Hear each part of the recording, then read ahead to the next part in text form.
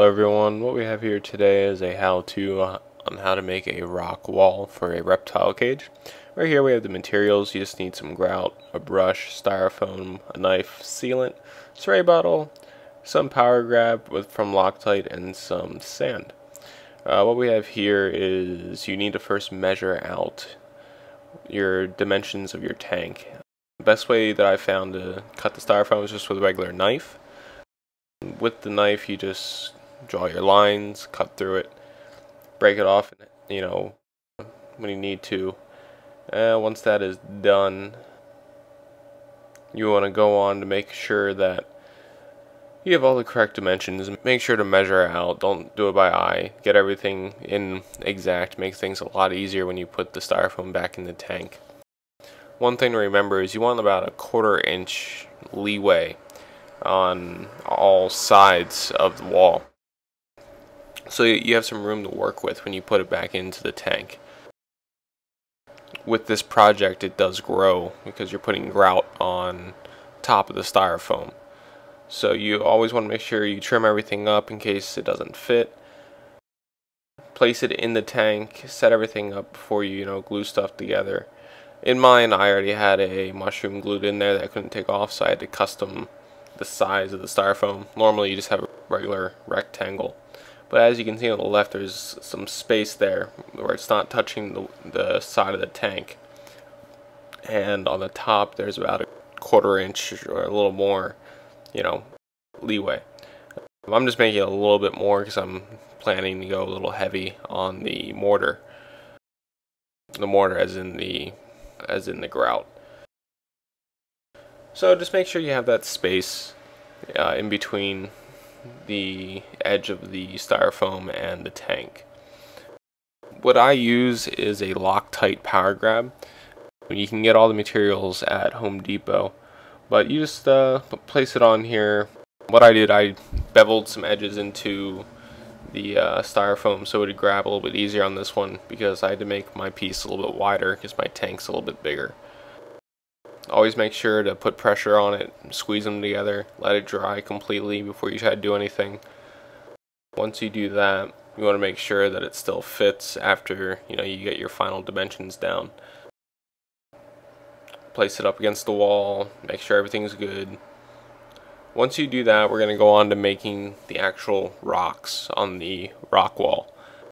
What you want to do is cut out some pieces or break them off and you, you want to rough up the edges of them so it doesn't look like you know a square. So either break break it off with your thumbs, make an angled edge, and try to make it as close to rock as you can.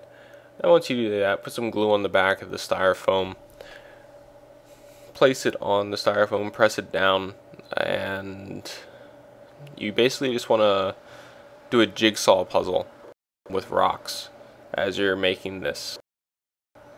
I've started just to cut a angle down on the edges and then breaking off the corners. Found it to be a little bit faster than just using your thumb to break off pieces. So when you're doing that, you just want to make sure to make everything look a little different. Use enough, you know, power grab so it's not going to come off in the future. As you can see, I'm moving along with making the uh, jigsaw a little more. I'm using bigger and smaller pieces to change it up so it doesn't look like a consistent shape through the through the entire thing.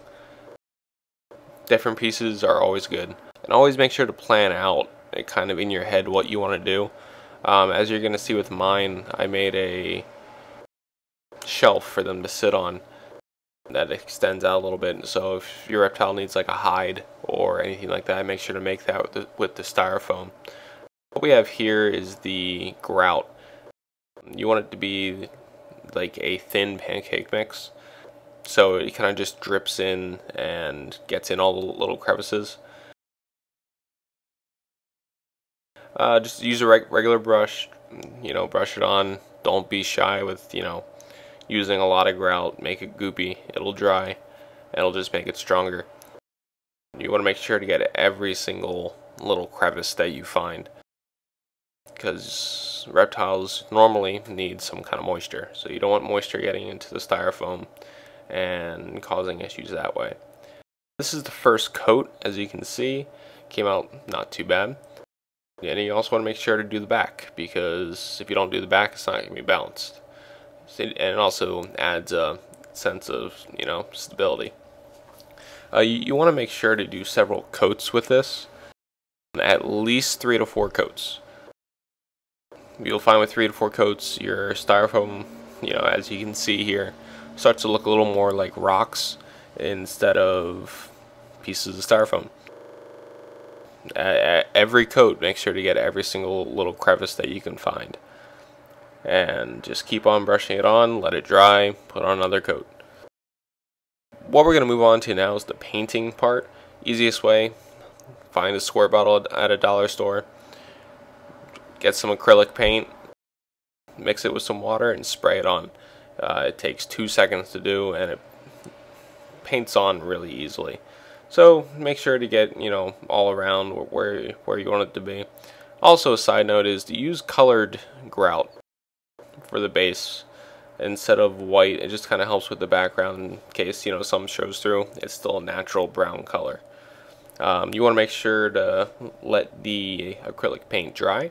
I decided to use a black and then I mixed in some gray so it, the paint would be layered and it would show up more of a rocky sense.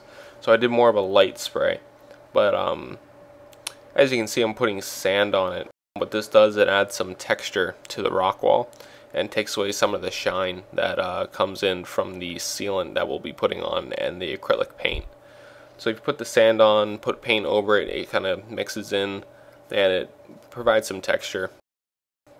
A for the reptile you're putting in there to climb on and just for the overall texture look. Uh, what I'm doing now is I have a little bit of gr light gray paint on my brush and you're just kind of brushing over the edges of the rocks. What this is going to do is really make them pop out and add a add some definition to the rocks. And then what I did uh, on my own was I decided to add some texture to the flat spots of the rock wall. I thought I added a little more definition. Uh, as you can see here, I'm spraying on the sealant. You want to make sure to get the sealant on the back and the front. Make sure to use a non-toxic sealant.